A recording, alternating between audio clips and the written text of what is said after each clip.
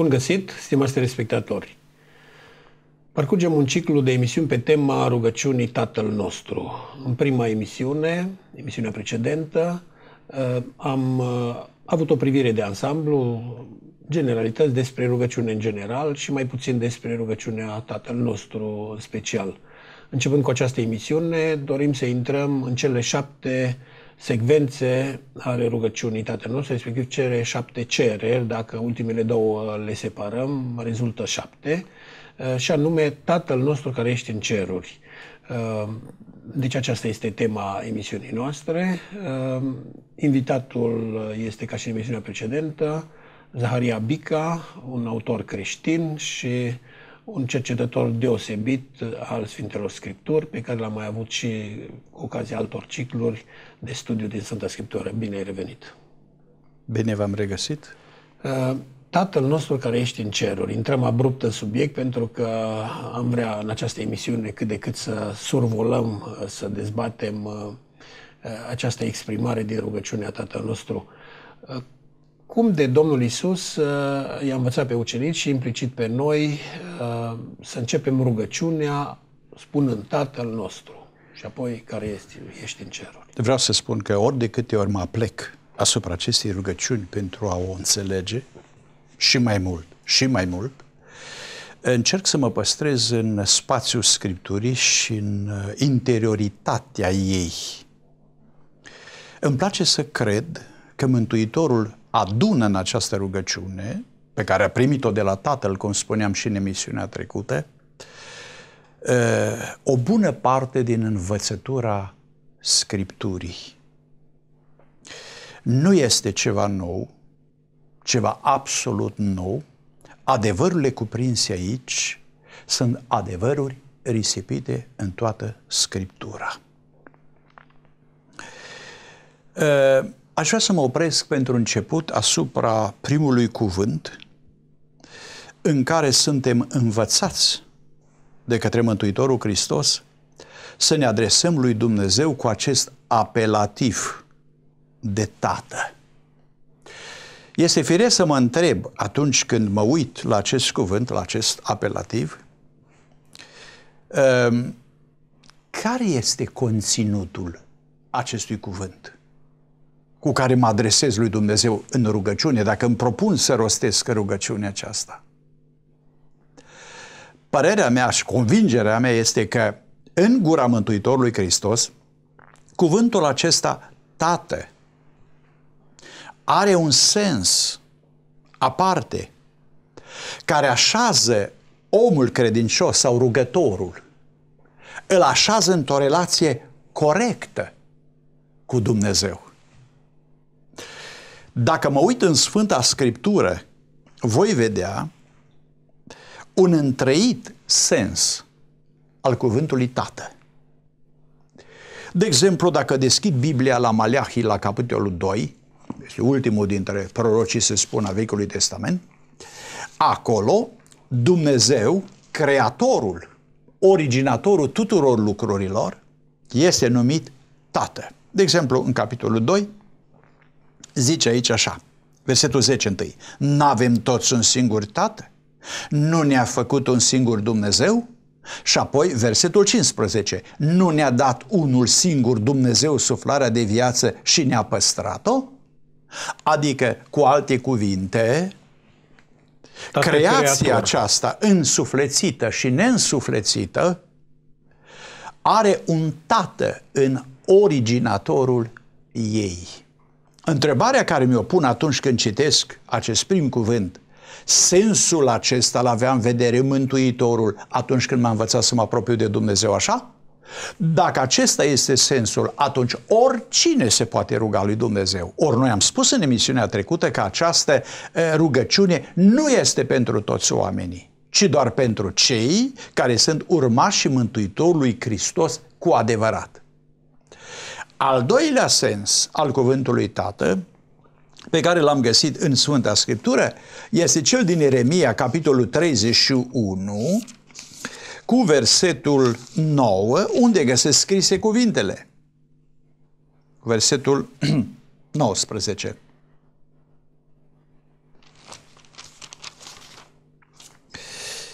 Da, nouă. Plângând vin, adică poporul evreu vine plângând la Dumnezeu și îi duc în mijlocul rugăciunilor lor. Îi duc la râuri de apă pe un drum neted pe care nu se potignesc, căci eu sunt tatăl lui Israel și Efraim este întâiul meu născut.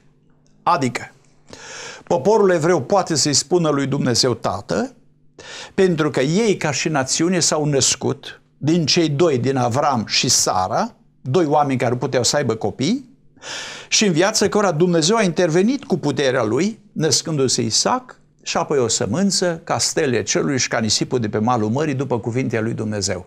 Din punctul acesta de vedere, poporul evreu este un popor excepțional. Este singurul care poate să-i spună lui Dumnezeu, tu ești făcătorul nostru, tu ești tatăl nostru. Ca națiune. Ca națiune. Mă întreb citind acest cuvânt de aici cu care se începe această rugăciune, avea Mântuitorul Hristos în vedere acest sens? Atunci rugăciunea Tatăl nostru este pentru tot Israelul, dacă acesta era sensul pe care îl avea Domnul în vedere aici. Dar cred că nici primul sens și nici al doilea nu-l avea Mântuitorul în vedere aici, ci un al treilea sens arătat de scriptura ebraică, arătat de profeți. De exemplu, Isaia 44 citesc așa, versetul 3. Căci voi turna ape peste pământul însetat și râul pe pământul uscat. Voi turna Duhul meu peste sămânța ta și binecuvântarea mea peste odrazele tale. Versetul 5. Unul va zice, în urma prezenței Duhului lui Dumnezeu peste el, unul va zice, eu sunt al Domnului. Altul se va numi cu numele lui Iacov, iar altul va scrie cu mâna lui, al Domnului sunt și va fi cinstit cu numele lui Israel. Adică, voi pune, zice Dumnezeu, Duhul meu peste ei, Duhul Sfânt, Duhul lui Dumnezeu, și atunci omul se va simți ca aparținând lui Dumnezeu care a dat Duhul, pentru că a dobândit prin Duhul Sfânt o identitate similară cu a Tatălui Ceresc, cu a lui Dumnezeu. Deci nașterea din nou este esențială pentru a Adică, rosti... cu alte cuvinte, aici este vorba de o relație duhovnicească între cel ce se roagă și cel căruia îi se roagă în speță Dumnezeu.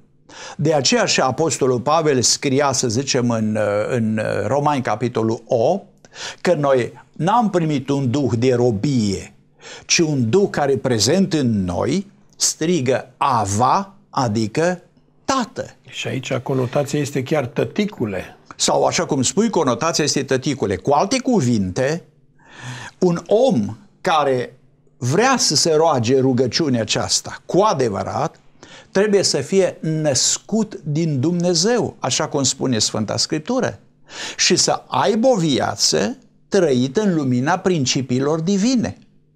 Roada Duhului Sfânt prezent în noi, spune Apostolul Pavel în Galaten, dragoste, bucuria, pacea, de lungă răbdare, bunătatea, facerea de bine, credincioșia, înfrânarea pe blândețea, înfrânarea pe oftelul și așa mai departe, cele nouă roade ale Duhului Sfânt, arată că rugătorul are o identitate ca și a lui Dumnezeu din punct de vedere spiritual.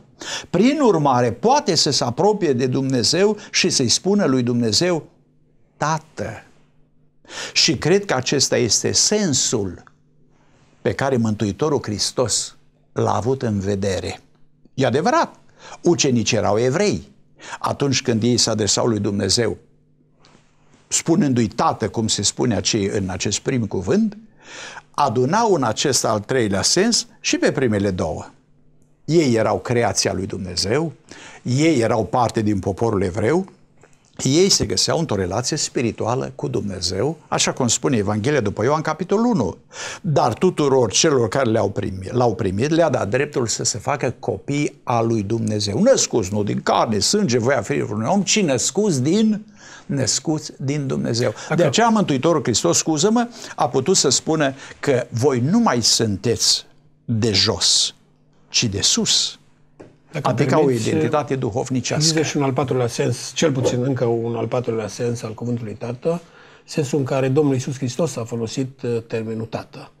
Că e foarte interesant că în Ioan 20 uh, și poate că ar fi bine puțin numai să mergem acolo, uh, îi numește pe ucenici, ne numește pe noi frați, dar în continuare spune uh, la tatăl meu și tatăl vostru, la Dumnezeul meu și Dumnezeul vostru. Deci uh, nu este aceeași uh, relație între Dumnezeu și creștini, copiii lui adoptați, ca și între Dumnezeu Tatăl adică, și Fiul. Sigur, n-am vrut să intru să discut despre adopțiune ca relație dintre om și Dumnezeu, adopțiunea sau relația prin fire, așa cum este, cum a fost între Mântuitorul Hristos și Tatăl Său. Deși există asta, însă asta nu pune piedici atunci când este vorba să rostim această da, rugăciune, da, să ne adresăm lui Dumnezeu. foarte bine că Domnul Iisus Hristos n-a folosit el însuși această rugăciune Tatăl nostru. N-a folosit Deși a spus de multe ori Tatăl lui Dumnezeu. Evident. Dar trebuie să spunem că și Mântuitorul Hristos, în relația lui cu Tatăl, era marcat de această componentă despre care am discutat, pentru că el n-a făcut păcat și în gura lui nu s-a găsit vicleșug și el spune în Evanghelia pe Ioan că Tatăl totdeauna este cu mine pentru că totdeauna fac ce este plăcut.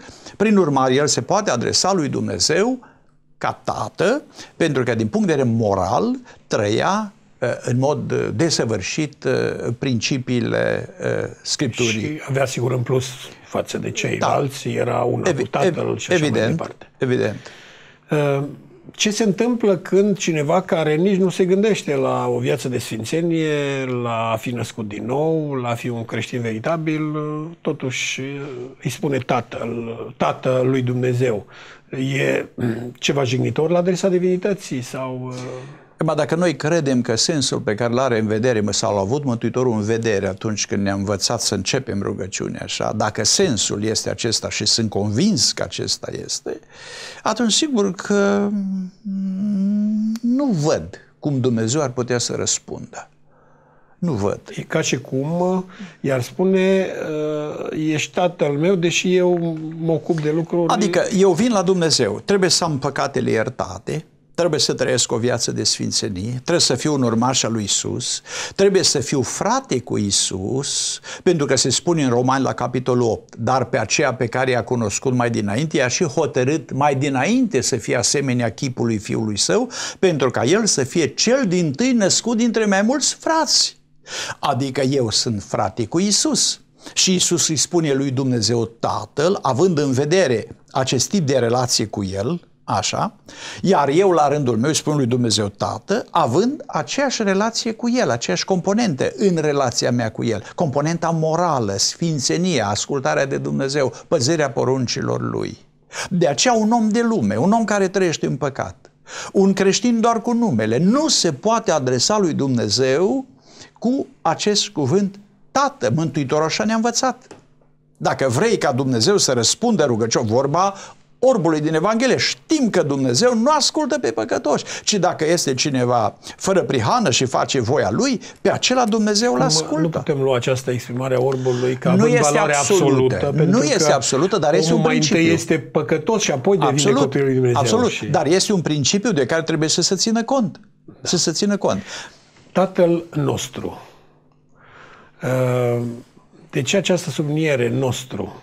De fapt, parcă de aceste două cuvinte uh, avem de-a face cu exprimarea, cu punerea dragostei pe prim plan în rugăciunea Tatăl nostru, pentru că spunând Tată, negreșit că copilul cu Tatăl are o relație de dragoste, e implicată dragostea. Spunând nostru, pare să că ar trebui să ne verificăm nu doar pe verticală, ci și pe, orizont, pe orizontală când rostim rugăciunea. Ne-ar place mai mult să zicem Tatăl meu, nu? Ca om egoist ce sunt. În emisiunea trecută, dacă ne amintim, am avut în atenție versetul 8, care sugerează că rugăciunea Tatăl nostru este un complex de trebuințe uh, cu la care Dumnezeu uh, ne cere să le simțim și noi ca atare. Adică să simțim și noi aceste trebuințe în viața noastră și să le aducem înaintea Lui pentru a fi ascultați. Ori, sensul acesta, sensul cuvântului Tată, este o trebuință în viața oricărui om. Mă relaționez cu el ca și creatură? Nu-i destul. Mai trebuie ceva. Mă relaționez cu el ca și evreu, născut din Avram și Sara? Nu este destul. Pentru că Mântuitorul Hristos a venit la cărtura și la fariseu la un moment dat și le-a spus voi aveți de tată pe diavolul și vreți să împliniți poftele tatălui vostru. Adică, um, statutul de creator și urmașa lui Avram nu le-a folosit la nimic? Nu, pentru că lipsea celălalt tip, al treilea de relație cu Dumnezeu, de ordin moral, duhovnicesc. Așa că trebuința în dreptul meu, în cel privește pe Dumnezeu, este asta, să mă relaționez cu El corect. Și asta trebuie să fie și trebuința mea. Dacă El spune că este o trebuință, trebuie să fie și trebuința mea, să am o relație corectă cu Dumnezeu. În același timp, nu pot avea o relație corectă cu El pe verticală, da. nu pot să-L iubesc pe Dumnezeu dacă nu spun Tatăl nostru, nu Tatăl meu. E adevărat, dar acest nostru, după părerea mea, este cea de-a doua trebuință. Corect. Pentru că omul din fire, așa cum ai spus, este egoist și vrea totul pentru sine, uitând de semenii lui. Vreau să spun că acest tip de comuniune, pentru că aici se cere o comuniune când vii la rugăciune. Conform rugăciunii Tatăl nostru, nu vii la închinare singur. Dar vrei spune, am intrat în cămăruța mea, am închis ușa după mine și m-am rugat lui Dumnezeu. Și Dumnezeu s-ar putea să mă întrebe, ești singur aici? Dacă înțeleg substanța rugăciunii Tatăl nostru, pot să-i spun da sau pot să-i spun nu. Îi spun da atunci când rugăciunea este la singular. Eu, eu, pe mine, pentru mine, mie și așa mai departe. Sau dacă rugăciunea exprimă un plural din care și eu fac parte. Și vreau să spun că rugăciunile în Israel erau și de o factură, să spunem, privată, particulară, dar erau și de una comunitară, de factură comunitară. De exemplu, dacă luăm câteva rugăciuni, să zicem rugăciunea uh, lui Ezra din capitolul 9. Acolo Ezra va folosi tot timpul acest nostru, al noastră, nouă. Pentru că el se simte parte din popor și responsabil înaintea lui Dumnezeu, era cărturarul cel vestit, responsabil înaintea lui Dumnezeu de starea poporului în care el făcea parte. Adică în rugăciune el ia problema națională, problema poporului lui și o duce înaintea lui Dumnezeu. Și Mântuitorul... Fapt, Dumnezeu așa judecă individul în contextul familiei lui mai restrânsă sau mai lărgită. Și așa îl judecă. Și Mântuitorul când ne învață să ne rugăm în acest tip de comuniune, nu ne învață un lucru nou. Sau dacă iau rugăciunea lui Nemia, tot din capitolul 9, vom vedea că și acolo pronumele acesta se găsește aproape la fiecare verset nouă, nostru, nouă, noi și așa mai departe. Deci Nemia nu se roagă în nume propriu, ci se roagă în, în numele întregului popor sau întregii rămășițe care s-a repatriat după decretul lui Cirus. Dacă au rugăciunea lui Daniel, tot din capitolul 9, foarte interesant. Și acolo, el se roagă în numele poporului. Niciodată în numele Lui.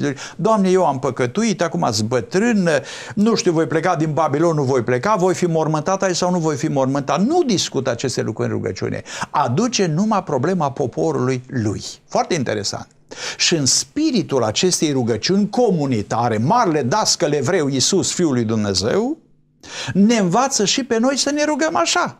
Deci nu trebuie să fim surprinși de acest nostru. El vine pe linia unei puternice tradiții de rugăciuni existentă în poporul evreu.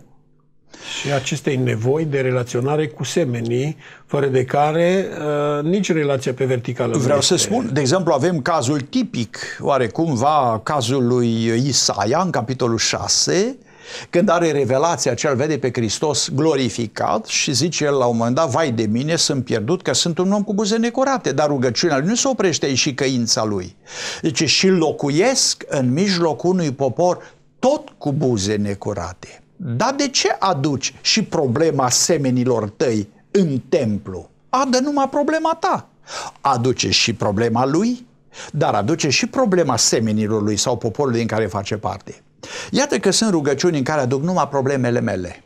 Sunt rugăciuni în care aduc problemele bisericii sau poporului, colectivității din care fac parte. Și sunt rugăciuni în care aduc și pe una și pe cealaltă. Și chiar lumea întreagă. Și chiar lumea întreagă și Mântuitorul Hristos ne-a învățat să aducem pe toți semenii noștri în rugăciune înaintea lui Dumnezeu. Când Pavel scria în epistola a doua către Timotei, Vă îndemn, dar înainte de toate, să faceți rugăciuni, cereri, mijlociri, mulțumiri pentru toți oamenii. Pentru împărați și Așa. Deci înseamnă să vii cu toți oamenii, să-i duci pe toți la rugăciune împreună cu tine. Așa. Ori, asta și m-am gândit la aspectul acesta a aduce pe toți ceilalți împreună cu tine la rugăciune. Oare nu cumva aceasta este, era misiunea preotului, levitului în vechime? Dumnezeu a ales această seminție nu, de leviți ca să reprezinte întreaga națiune despre cele 11 seminții, să le reprezinte, să le exprime înaintea lui Jehova, a lui Iahve, a lui Dumnezeu.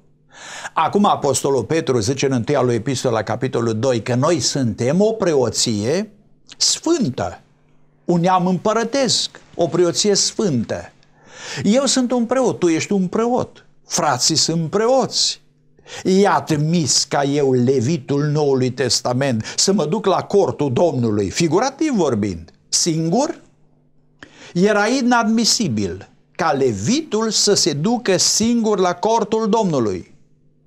El când se ducea, se ducea cu o funcție reprezentativă. El ducea cu sine întreaga națiune, că pentru asta au fost aleși.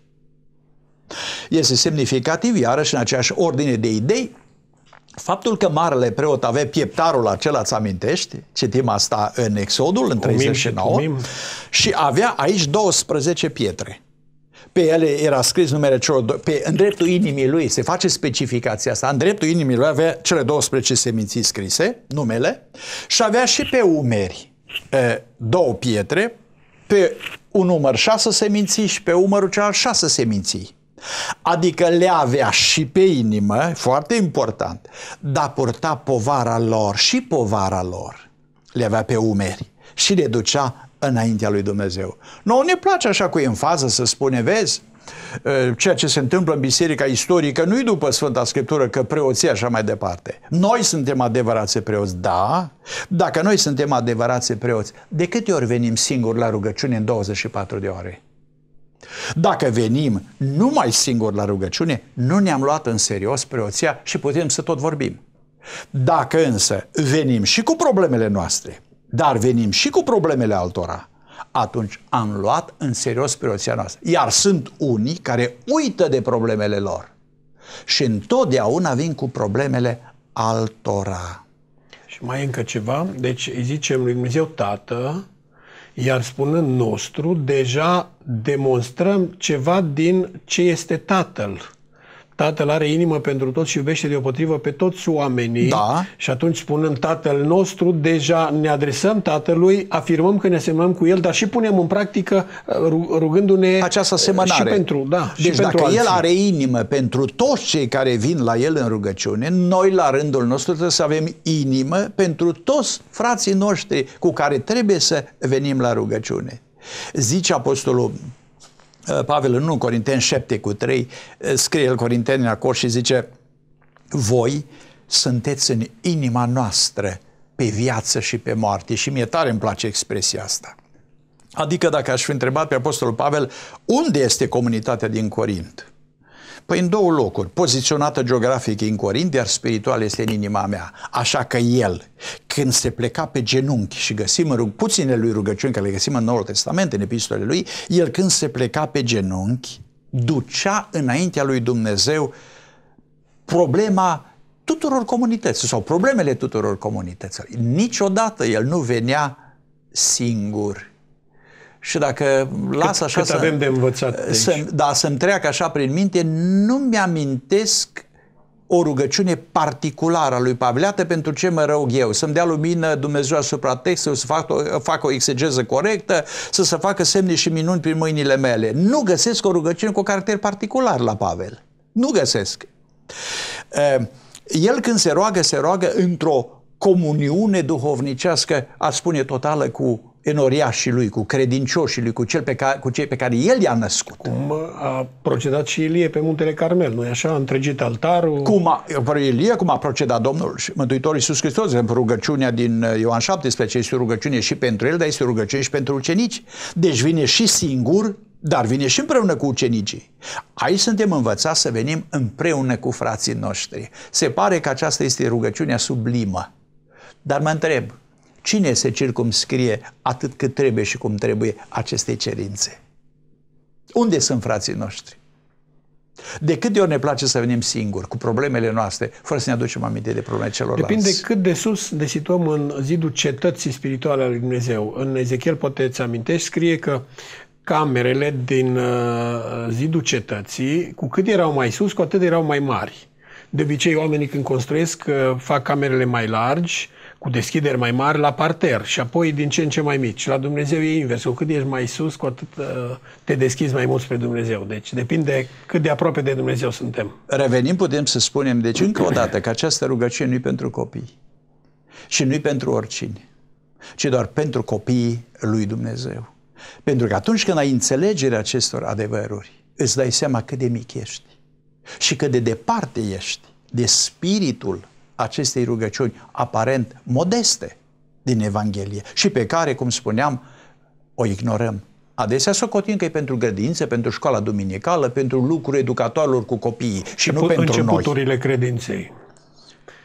Și dacă mergem mai departe, Tatăl nostru, de ce această precizare care ești în ceruri?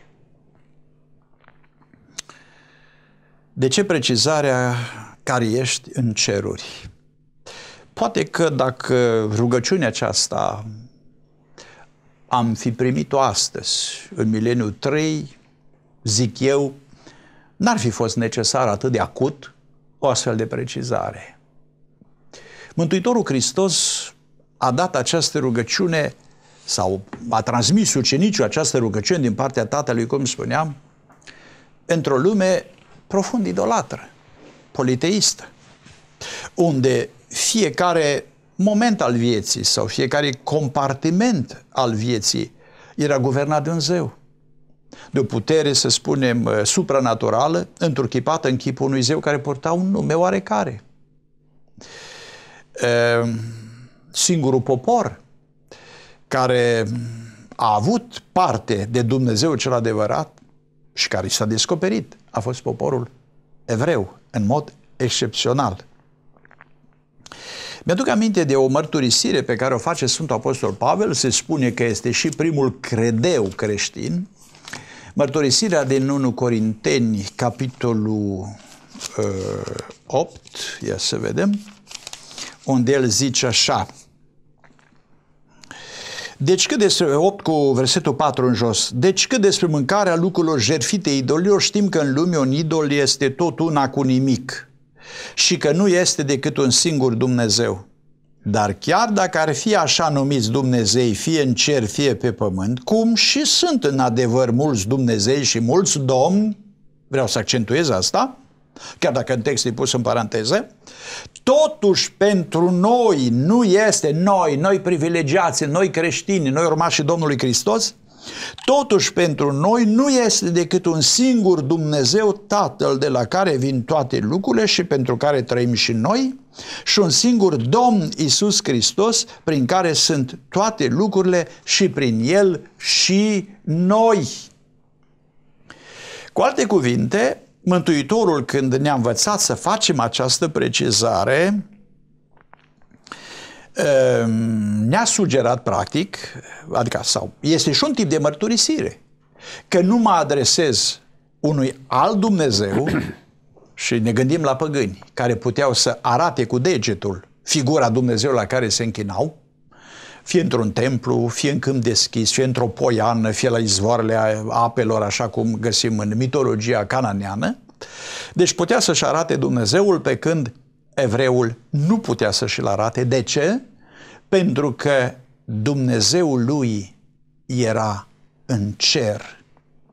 Și atunci când Mântuitorul ne învață să spunem Tatăl nostru care ești în cer, ne învață să mărturisim prin această afirmație că nu ne-am ales nici unul din Dumnezei aceștia care pot fi văzuți, palpați, gustați, atinși, mutați din loc în loc, definiți și așa mai departe, sărutați, așa, ci ne-am ales Dumnezeu cel adevărat care este în ceruri.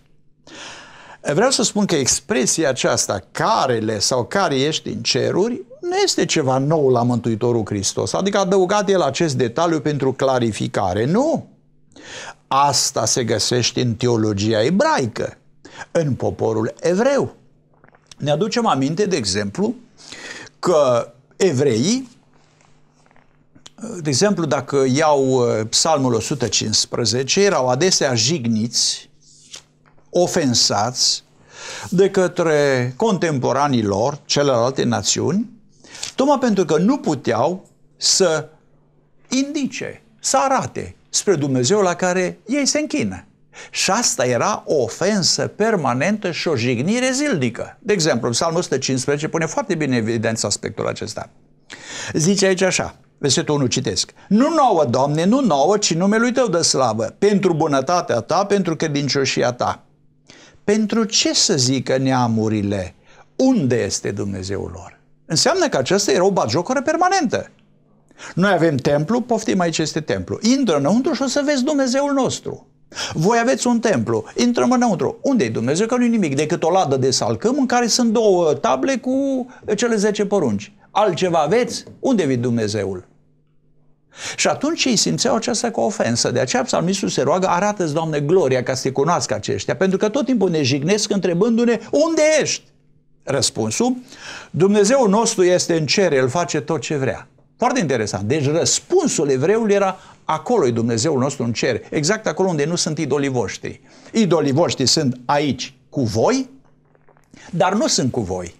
Dumnezeul nostru este acolo în cer, dar este cu noi. Așa că Dumnezeu le arată slava. Mai deci mult este, decât este subliniată transcendența. Sigur, transcendența lui Dumnezeu. Iar în Psalmul 123, foarte interesant și de aceea zic că sintagma aceasta din rugăciunea Tatăl nostru, Mântuitorul Hristos a luat-o din scripturile ebraice. Așa cum ziceam, el nu ne-a învățat nimic aparte de aceste scrituri. Zice, la tine îmi ridic ochii. La cine adică? La tine care locuiești în ceruri.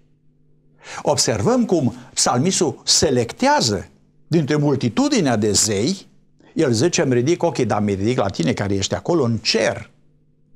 Și exact pe fundalul acesta vine Mântuitorul și ne învață să ne rugăm, că spunem, Tatăl nostru, care ești în ceruri. Cred că aici este introdus și elementul de ce nu suntem și noi în ceruri. Deci căderea, faptul că uh, omul datorită păcatului e distanțat de Dumnezeu, uh, implică această formulare. E, nu știu, îmi pare că te-ai inspirat din părinții bisericii. Mai, dar, ce, mai citesc și eu. dar ți-am spus că aș vrea să mă păstrez în ce mă privește numai în interioritatea Bibliei. Părinții bisericii, sigur că au făcut multe speculații pe aceste expresii, dar ele nu se regăsesc în Scriptură. Acum, nu că nu am libertatea să reflectez asupra lor și să spun lucruri frumoase și practice, dar dacă rămân strict la Biblie, să atunci, rămânem că mai avem numai un sfert de oră și atunci nu putem să ne lărgim prea mult. Mă gândesc, de exemplu, când uh, Solomon îi trimite la bunul lui prieten Hiram, împăratul Tirului, o scrisoare în care cere materiale uh, pentru construcția casei Domnului la Ierusalim. El face acolo precizarea, nu că Dumnezeul nostru al locui într-o casă, că și pe el nu-l încap cerurile cerurilor. Deci el face precizarea pentru că nu cumva Hiram, care era un idolatru, să-și închipe că Jehova, Dumnezeu celui și a pământului, poate fi înghesuit în, în spațiu strâns a, unei, a unui templu, așa cum erau zeii păgânilor. Deci precizarea aceasta în Scriptură arată maestatea Dumnezeului adevărat. Că dacă ai spune, locuiește în fundul mării, cum locuia zeu Neptun, zeu adâncurilor, sau locuiește în Hades, cum, locuia, cum era zeul care patrona locuința morților, sau locuiește în văzduh, cum e Domnul puterii văzduhului. Nu, Dumnezeul nostru locuiește mai presus decât toate aceste locații pe care noi le-am putea pomeni. Prin urmare, este Dumnezeul absolut, pot, suveran, pot să vin cu o completare. Te din rog, Biblie, din te Biblie, rog, nu din părinții. Din Biblie. Uh, 2 Cronici 6 cu 18 înainte de da. sfințirea da? templului de da. Ierusalim, Solomon rostește o rugăciune extraordinară. Doamne, Dumnezeul lui Israel, nu este Dumnezeu ca tine în cerul și pe pământ, tu ții legământul și așa. Dar în versetul 18 spune, dar ce? să locuiască Dumnezeu cu adevărat împreună cu omul pe pământ? Iată că cerurile și cerurile cerurilor nu te pot cuprinde, cu, cu cât, cât mai, mai puțin, puțin această casă pe care am zis-o eu. Da? Deci, indicația Dumnezeule care ești în ceruri, de fapt, ne arată ceva din, din măre, majestatea lui Dumnezeu, dar nici măcar cerurile cerurilor nu pot să-l cuprindă. Toți, toți Dumnezei neamurilor puteau fi circumscriși unui spațiu unei geometrii uh, limitate. Pe când Dumnezeul acesta nu-l cuprinde propria lui creație, din moment ce creația este produsul atotputernicii lui. El nu se poate circumscrie creația, este mai presus decât creația. Este Dumnezeul unic și absolut. Uh, și eu când spun Tatăl nostru care ești în ceruri, la acest Dumnezeu atotputernic și unic mă duc cu rugăciunea mea. Asta îmi sporește credința că voi fi ajutat și că problema care o duc eu înainte poate fi rezolvată pentru că toate sunt cu putință. Evident celui ce crede, dar mai ales celui în care cel ce crede, crede. Așa. Deci mi se pare că expresia aceasta este o expresie biblică. Mântuitorul Hristos vine pe linia tradiției biblice a poporului din care el face parte și când adaugă această expresie aici, ă, mă ajută să mă rog în rânduiala fixată din totdeauna de către Tatăl Său. Adică, practic, rugăciunea aceasta a fost dată, cum ziceam într-o emisiune, lui Hristos de către Tatăl, la rândul lui El să o dea discipolilor, ucenicilor lui, care la rândul lui să ne-o dea nouă. Dar eu mă întreb, atunci când spun Tatăl nostru care ești în ceruri, realizezi uh, dimensiunea, măreția acestei expresii? Nu. Iată de ce nu ne putem ruga cu grabă atunci când uh, pun pe piticul ăsta de cicea, zi rugăciunea Tatăl nostru. Și el o murmură acolo repede, repede, aleluia, slăvit să fie Domnul. N-aș spune, că este, n-aș spune că este o blasfemie. Trebuie să învățăm pe copii să se roage. Dar mi se pare că este o desconsiderare evlavioasă dacă pot asocia cele două, deci considerare evlavioasă, a măreției acestei rugăciuni, care, așa cum spuneam, adună în sine uh, întregul bagaj de adevăr uh, legat de, de Dumnezeu și de condiția noastră ca oameni, care am ales să-L urmăm pe Hristos și să-L slujim pe Dumnezeu. Spune și Ștefan în predica lui și cred că pentru asta a fost și sancționat sau și pentru asta a fost sancționat contemporanii lui. Căci Dumnezeu nu locuiește în temple făcute de mâini. Omenești, cum a zis prorocul. Cerul și, este scaunul pre, de domnie. și Pavel în fapte 17. Da, exact, exact. Însă Dumnezeu i-a învățat, dureros le-a dat o lecție atunci când romanii au venit și au făcut, babilonenii în primul rând au venit și au făcut uh, una cu pământul templu și pe urmă uh, romanii uh, la rândul lor în anul 66-70 deci iată că rostirea rugăciunii Tatăl nostru este de o maximă seriozitate. Categoric. Ce trebuie să facem? Mai avem 10 minute uh, ca să putem să începem această rugăciune, cel puțin să o începem uh, exprimând o realitate și nu, uh, știu eu, o închipuire, o tradiție, o formulă.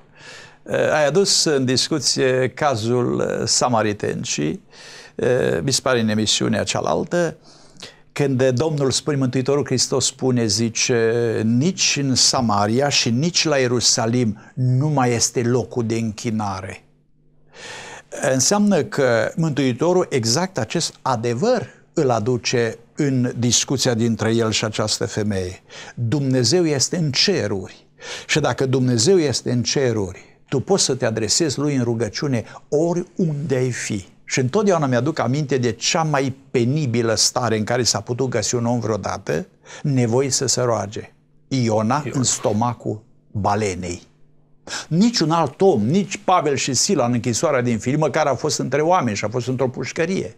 N-a fost pus, niciun om n-a fost pus într-o situație ca el.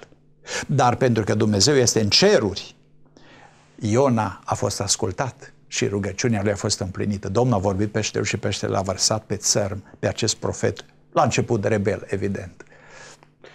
Ce trebuie să facă un telespectator pentru ca Dumnezeul cel triunic, Tatăl, Fiul și Duhul Sfânt, să fie cu adevărat Tatăl lui, Tatăl nostru, Uh, și pentru a ajunge la nașterea din nou, că despre asta era vorba, cea de-a treia semnificația cuvântului tată, era tată prin naștere din nou.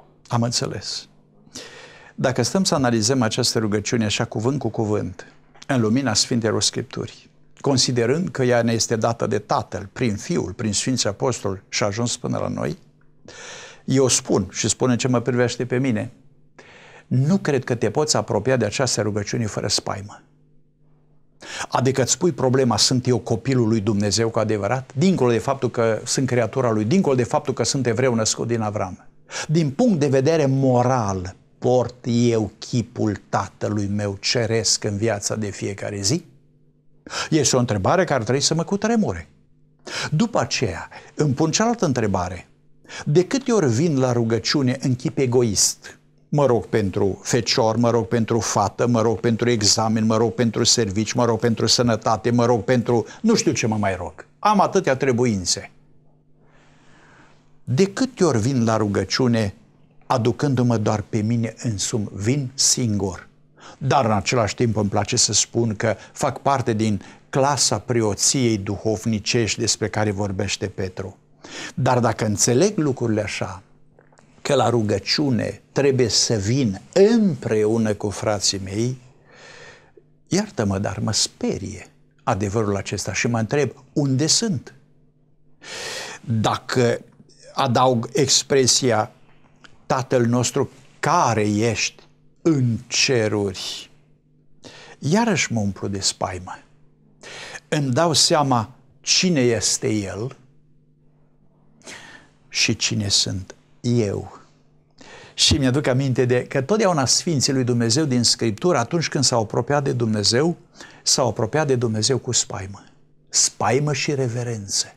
Interesant, e un paradox aici. Bucurați-vă tremurând. Bucurați-vă tremurând, adică să-ți fie și frică și în același timp să te și bucuri. Îl pomeneam pe Isaia, care se vede nenorocit. Mă gândeam la Avram, care zice, Doamne, iartă-mă, am îndrăznit să vorbesc eu, că nu sunt decât praf și cenușă în fața Dumnezeului cerurilor. Uh, mă gândesc la alți sfinți, de exemplu, zice David, pe cine urmărești tu, îl întreabă pe Saul, un câine mort, un purice? În raport cu Dumnezeu, eu sunt un câine mort și un purice. Eu am obiceiul să spun un nimeni în drum. Sau un nimeni în drum. Așa. Dar când spun Dumnezeu cerurilor și realizez măreția acestui Dumnezeu, mă tem și mă cutremur. Dar în același timp pot să mă și bucur dobândind îndrăzneală că El, acest Dumnezeu atotputernic, îmi dă dreptul să-i spun îmi dă dreptul acesta, e un har, odată, în al doilea rând, poate să vină în ajutor indiferent ce problemă aduc înaintea lui, pentru că toate sunt cu putință lui Dumnezeu.